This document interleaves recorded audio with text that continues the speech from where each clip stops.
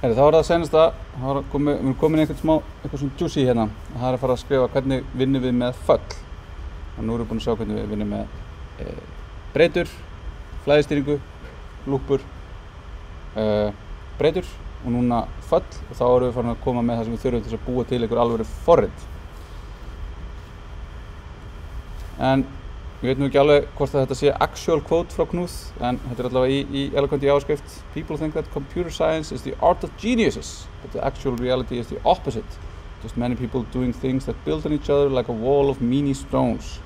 Þetta er alveg svona eitthvað, en, en mjög góð svona samleiking forriðun er ekkert flóking þannig séð. Veist, þetta er bara að vita svona sirka hvernig maður vinnir með þetta og svo bara að brjóta þetta niður verkefni niður eins og við getum og til þess notum við ofta til föll til þess að reyna manage þetta flækjustík sem er alltaf í því að vinna með uh, forrið.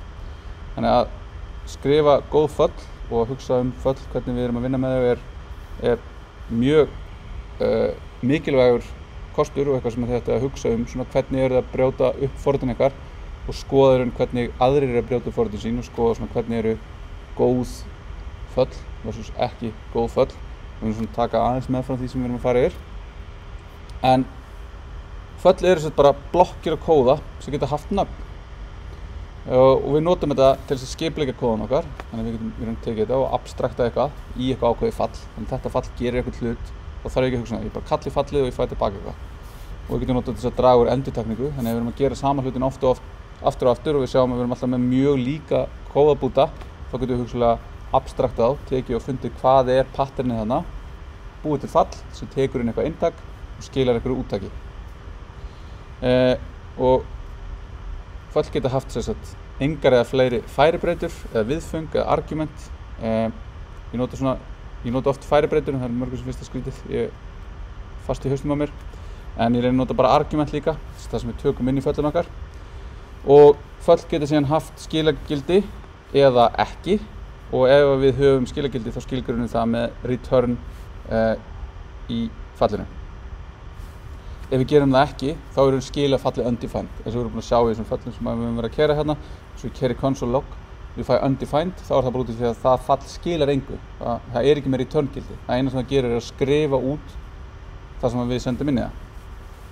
Uh, við skilgrunum fall með þess að function keywordinu.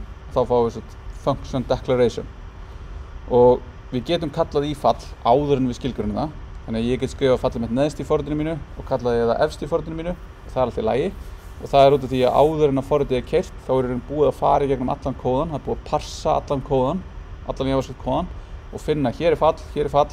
Og það er búið að geima hérna ok, fallið þú er hér. Þannig að við kallum í það þá er, raun, þá er vita hvað það er. Við þurfum ekki að skilgruna fallið áður en við kallum í það. Eh, hérna erum við bara með skilgrend fall sem tekur inn eitt argument sem heitir name og það skilur okkur streng sem segir hello name svo getum við kallað í það með því að taka bara fallið og svíi opnast til þess að byrja í raun að skilgrina argumentin okkar og þá sendum við í raun hvaða gildi við viljum senda inn og þá sendum við inn world og þá fáum við hello world. En svo er í raun þarna gildir það sama um argumentin og um breytunar þú getur bara haft hvaða gildi sem er. Argumentið hefur ekki típu gildið sem er sett inn í það hefur típu. Þannig að hérna er í raun getur sendt inn streng eða boolean eða null eða undefined. Og það er í raun bara skrifast út hvað, hvað sem er hvað sem er sendt inn. Uh, við getum líka skilgreint föll sem segð. Og þá erum við með function expression ekki function declaration og þá getum við bæði haft þau sem sagt nafnlaus eða anonymous og þá erum við komið með þetta sem er anonymous functions stundum líka að kalla það lambda-föll föll sem eru bara skilgrind án, án þess að vera með nafn og erum bara notið til þess að keira ykkur kóða eh, eða við getum gefið því nafn. Og þetta er raun að föll sem eru skilgrind svona sem segð er raun bara gildi með típuna function. Sem þýðir það að við getum verið með breytur sem innihalda föll, við getum sendt föll inn í föll sem argument og við getum gert alls konar sniðugar hluti með föll. Þannig að þetta opnar svona heim falla forðunar þar sem við getum í raun verið að vinna með uh, föll sem gögn sem er mjög áhugavert. Uh, þannig að hérna get ég búið til fall sem er bara nafnlaust. Ég gæti gefið því nafn hér en ég þarf þess ekki þannig að hérna er ég bara búið til fall sem að uh, tekur tölu og, og hérna skverar hana markvældar með sjálfur sér. Og ef ég ættu að hvað er square þá er það í raun bara function. Og svo get ég sendt inn í það í raun bara hvaða gildi sem er. Og það er í raun markvældað með sjálfur sér. Uh, og ég get síðan í raun tekið þetta square og ég get sendt það inn í annað fall. Og gert eitthvað uh, eða ég get náttúrulega bara látið square verða bara alltaf einu tölu eða streng eða eitthvað. Þannig að sama við sáum þann með gildin þar sem ég get í raun uh, endurskilgreint, ég geti reyndir ekki hérna út á konst þá get ég bara verið með breyti sem inni heldur vísun í fall sem verður sem vísun í eitthvað annað. Uh, síðan þegar við erum komin með hérna föll þá við, þurfum við að fara að hugsa um það ok, hvað eru skópin okkar? Og skópin eru þá er hvað sér fallið versus hvað sér fallið ekki. Hvað sér umhverfið fyrir utan fallið hvað sér umhverfið fyrir utan fallið inn í fallinu? Hvað gerist ef ég er með fall sem er með eitthvað skóp og svo tekið það og ég sendi það inn í annan fall og ég kalli það? Manna hvað það sá þetta er svona, verður flók, flókið eða svona, það þarf alltaf að skilgjuna þetta en breytur eru skilgrindar með svona lexical scope sem því að þar eru innan fallsins og ekki fyrir utan það. Þannig að breytan er aðeins aðgengileg innan fallsins. En þetta á aðeins við ef við skilgrindum breytuna með einhverju af raun þessum líkilórun hérna let const eða var. Að þegar við getum teknilega skilgrind breytu án þess að gefa henni eh, með, með þessum hérna keywordum og það sem gerist þá er í raun að breytan er sett í þetta global scope sem er skópið sem að umhverfið allt saman hefur. Þannig að eins og við erum með hérna uh, number sem er bara eitthvað function hérna sem primitive wrap er eða window sem er í raun bara þetta hvað er ég að keira eða document. Allt þetta sem að býr í global skópinu að ef að ég skilgjörni breytu ekki með let const eða var þá fer breytan bara og er fest við þetta global scope. Það getur búið til leiðilega bugga þannig að við viljum alltaf skilgjörða breytun okkar með í raun þessum keywordum einhverju þeirra uh, en ef ég hins vegar býpar til falli hérna nei hérna breytun hérna bara const foo jæmt og 1 þá er raun foo er bara í global scope núna. Uh, og föll getur þess að aðtúa hvað er í global scope-inu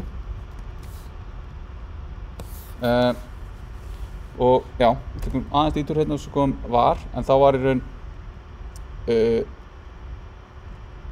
það er skilgreynd fyrir global scope og lexical, lexical scope og falli en let og const er í raun ennþá þrengri.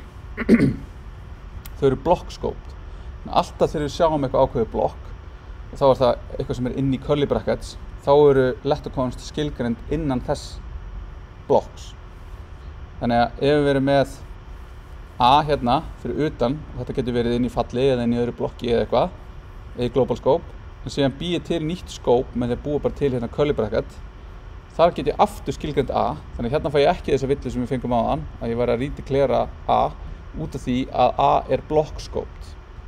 Þá getur ég loggað át A hér og þá er raun þegar þessu scope líkur þá er raun fyrir þetta A er eins og þetta hef aldrei verið til og fyrir þetta A er eins og þetta hérna fyrir utan sé ekki til og þá getur ég loggað út A hérna fyrir neðan.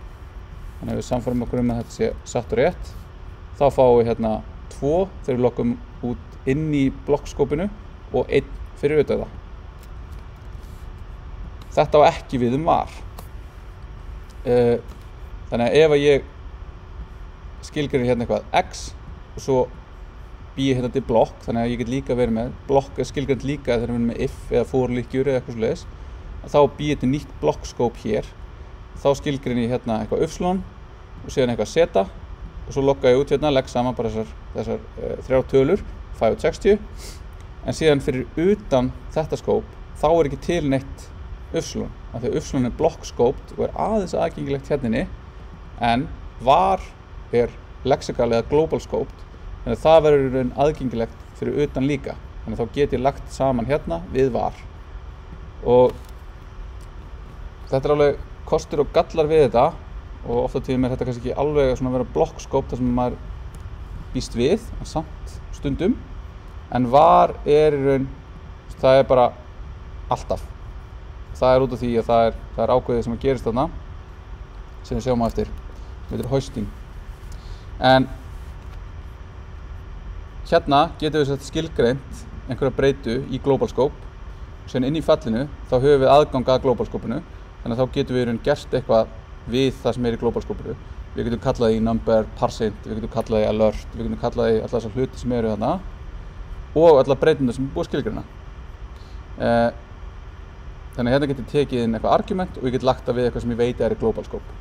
En hérna er í raun komið svona dæmi um það sem er hættulegt er um að skrifa föll. og eitthvað sem við að reyna að forðast að það er að blanda saman upplýsingum úr tveimur stöðum.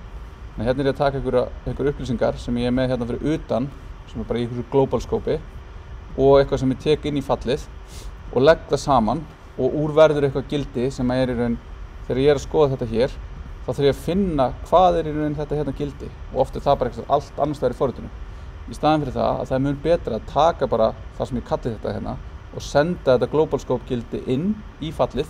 Og þá er auðveldar fyrir mig að hugsa um hvað þetta fall sé að gera. Og þá er þetta svona global scope is the root of all evil segja sem er þá er það út af því að ef við erum að nota global scope þá verður svo þá þurfum við alltaf að hugsa um allt forröðuð okkar. En þegar við erum með fall þá erum við viljandi að reyna að taka svona brota forröðun okkar og hugsa bara um það og svo annar brot og annar brot og síðan í raun hugsa alltaf að herra, herra leveli svona abstrakti burtu flækjuna. Eh, þannig að hérna ef við gleymum að setja var, lett eða konst þá fer sam bara beint í uh, hérna, uh, global scope. Þannig að þá er það bara kemur útkoman úr því þegar við lokkum það út. Uh, en ef ég séðan breyti og setji í global scope eitthvað gildi fyrir sam og ég bæti séðan þannig inn þá muni það í raun breytast í framhaldinu að hérna setjum við 5 svo leggjum við saman 5 og 6 og fáum 11 og þá er sammaltin orðið 11 hérna þó svo að það hefur verið 5 hér út af því að hér er ekkert hérna. Og þetta er, getur valdið mjög leiðilegum og erfiðum böggum að dýbaka uh, en hoisting er þegar við skilgjörnum breytur með var og ástæðan fyrir því að það eru aðgengilegar þarna allstæðar er út af því að þegar tólkunum sér var þá skoðar það og segir ok, hvað er næsta lexical scope eða hvað er næsta global scope? Og dregur skilgjörningun og breytunni efst í það skóp uh, og þetta er helsta ástæðan fyrir við notum ekki var er út af því að þetta er svona mjög skrítið þegar maður lendur í fyrst og maður er bara eitthvað hvað er í gangi? Eh, þannig að þegar við erum með þetta hérna að þá erum við eitthvað var fú hér og við setjum það sem einn og svo hérna það sem við erum að búa til hérna er í raun kallað IFI sem við sjáum í næsta tíma sem er Immediately Invoked Function Expression. Að það sem að þetta er raun að gera bara er raun að herma eftir blockscope fyrir var. Þannig að þegar við búum svona til þá erum við að búa til lexical scope út, út af því þetta er inn í falli. Og þannig getum við verið með sama heiti á breytinu fyrir utan og innan allavega. Hér myndum við gera ráð fyrir að við myndum sjá 1 svo myndum við gera 2 og þá myndum við sjá 2 en hérna sjáum við undefined og það er út af því að þetta er tólkað í raun og veru sem þetta að skilgreiningun á breytinu er hóistuð upp í skópinu þá getur við byrjun á skópinu hérna. Síðan er því gefið gildi hér. Og þess vegna fáum við undefined hérna út af því að fú er virkilega er í raun og veru undefined hér. Og síðan er að gefið gildi 2 og þetta er raun alveg óháð því sem að gerist hérna fyrir utan. Uh, en út af því að letterkonst eru blokkskóp þá losnum við við þetta hosting vissan og það er pluss það að vera bara að leysa aðra hérna uh, önnum mál sem eru með var eins og það geta rítiklerað og, og, og hérna uh, geta verið með konstbreytuna. Nei hérna konst á, á endurkilgun ekki grungildið þá notum við eingöngu lett og konst. Þannig ég segi aftur ef að þið takir eitthvað dæmi sem þið finnið og það er varið í þá getur ég alveg að nota það þið þurfum bara að hugsa hvernig á ég að breyta. Yfirleitt getur þið þá breytið bara yfir í lett og allt virkar eins og það á að virka. Uh, annað sem að kom nýtt inn núna í, í eða ekki núna, fyrir nokkrum árum hérna í, í hérna Xcode 6 var það að geta stytt hennar syntax fyrir föllin. Af því að eins og við sáum hérna þegar við myndum square þá var svolítið mikið að skrifa eitthvað function sví opnast eitthvað. Og það er um bara búið að búið til svona syntactic sjúkar uh, samt með smá caveat sem við sjáum senna að þá getum við tekið og skilgjönd föll með þessum fatt arrow syntax hérna. Það er að segja það er feit ör hér. Uh, þá fáum við inn argumentin hérna og svo er raun bara bodyið og funksjóninu hér. Uh, við megum sleppa þessu ef það er bara eitt argument og við megum sleppa hérna uh, curly brackets ef við erum bara með eitt statement og þá mun það vera í raun skilað sjálfkrafa þannig við getum sagt hérna við erum með eitthvað fall sem uh, markvælda með tveimur. Og þá er þetta í raun fall. Þetta er svona eins í raun x sem skilja x svona hérna id fall eða eitt fall var í raun minnsta fallið en hérna erum við raun með eitt af minnstu fallalum og við tökum inn x sem argument og við skiljum x sinnum tveir. Uh, svo getum við tekið fleiri en eina breytu. Við getum verið með eitthvað flóknura hérna. Við getum verið með einhverja útrekninga og gert eitthvað og síðan haft return gildi og þá er þetta hérna allt saman fall. Og þá er þetta sett anonymous fall. Þá er þetta, eða lambda fall. Segja, þegar við skilgrunum þetta svona þá erum við ekki að gefa nafn, heldur bara skilgrunum við hérna argumentin og svo er raun body eða statementið sem skilja skal. Uh, það er þessi anonymous functions sem við getum unni með en út af því að þetta, við erum með föll eru gildi, þá getum við líka skilað föllum úr föllum.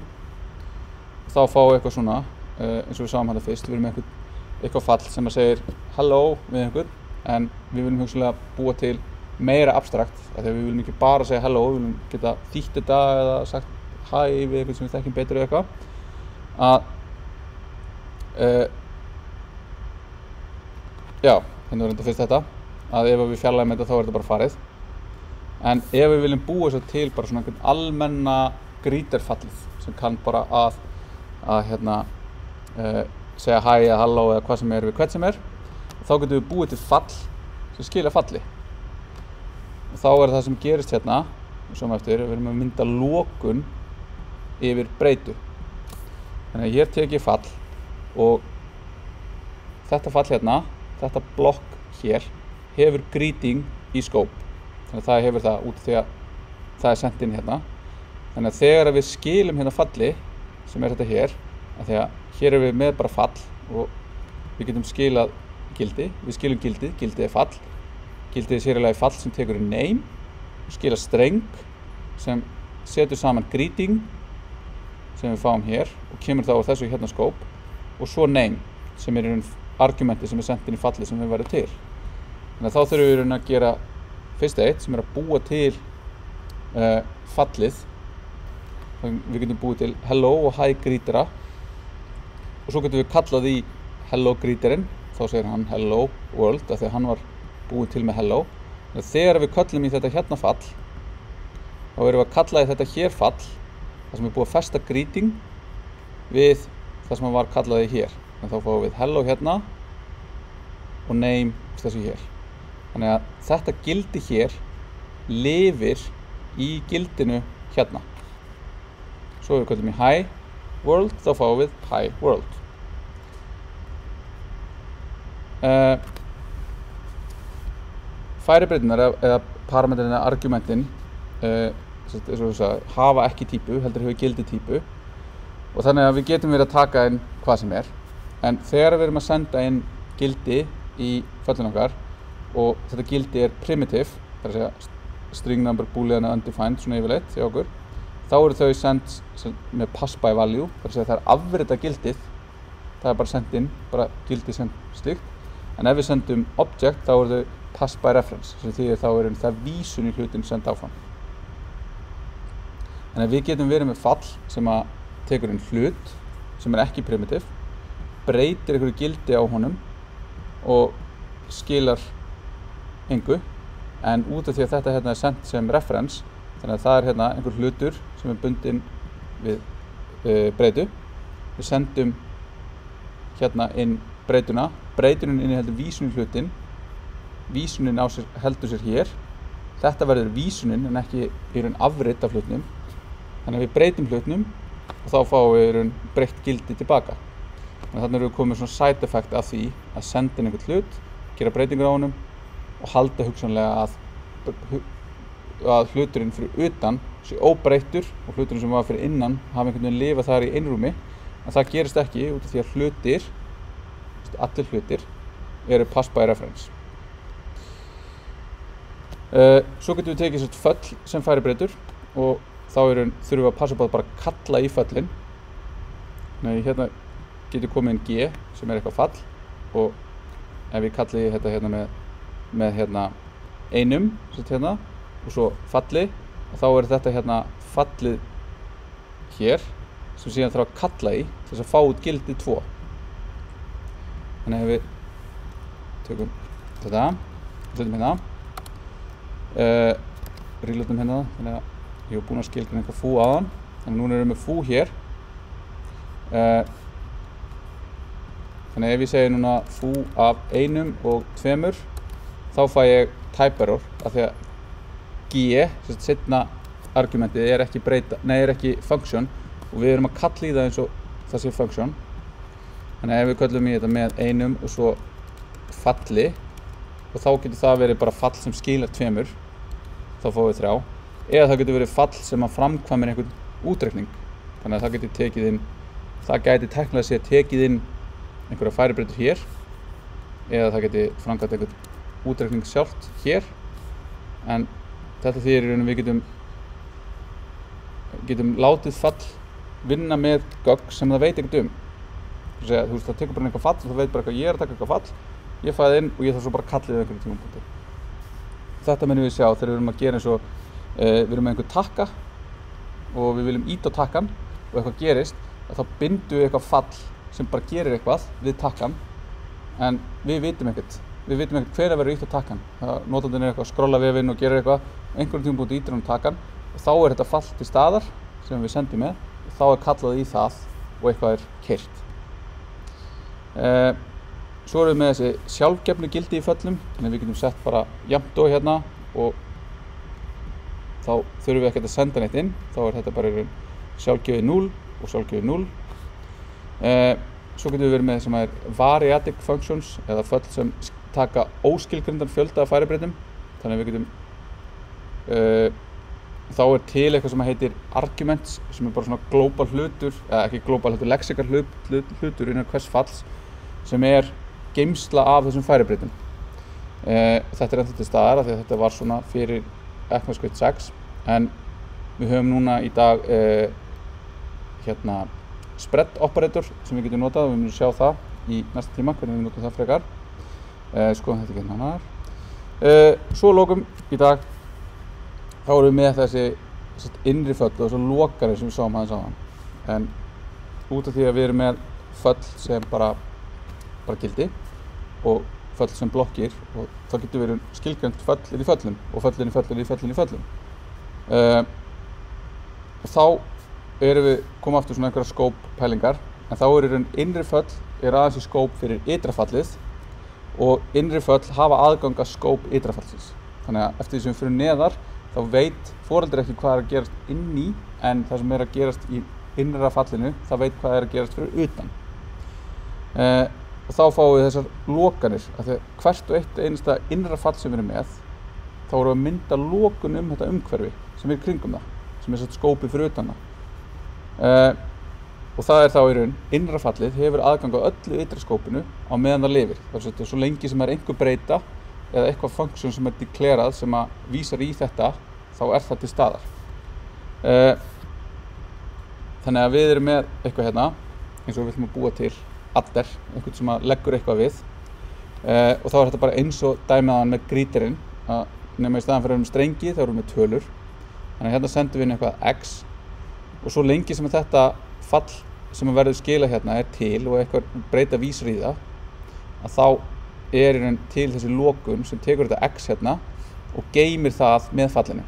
Og þá vitum við hérna að þetta x hér er það sem var skilgjönd hérna fyrir þetta fall sem er skilað hér. þannig að við búum til adder sem bætir fjórum við einhverja tölur að þá er þetta hérna fall sem inniheldur þetta fall nei þetta er breyta sem inniheldur vísun í þetta hérna fall sem inniheldur síðan lókun yfir þetta x hér. En þá getum við kallaði þetta add hérna og fáum 10 uh, og svo getum við verið með svona bara innri, innri, innri föll þar sem er hvert fall hefur aðgang að öllu ytra skópinu. Þannig að innsta falli hérna skilar x plus y plus z plus c þar sem z er hér, y er síðan skilgjart fyrir utan og x þar fyrir utan. Uh, svo tekur þessi föll alltaf inn eitthvað hérna þannig þetta hérna tekur inn c sem er b sem er a sem að kemur hérna að lókum frá einhverjum sem kallar í það þannig þetta er bara mjög kontræft og liðast hæmi svo sem.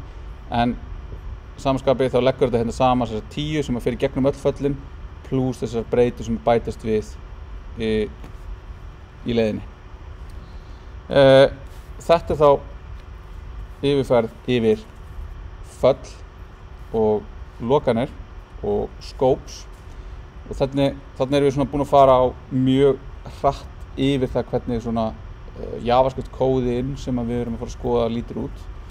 Uh, þannig að þetta er ekkert svakalega svona segir ekkert mikið að hafa farið yfir þetta, við erum ekki búin að sjá neinn föll, neinn nein svona alvöru forrið en við ætlum að skoða allavega í, í verkefni 7 þá erum við með svona skilgreitt uh, dæmi, svona, svona uh, grunnað forritið sem þau ætla að fylla inn í með því að nota þessa hluti sem við erum búin að skoða hérna.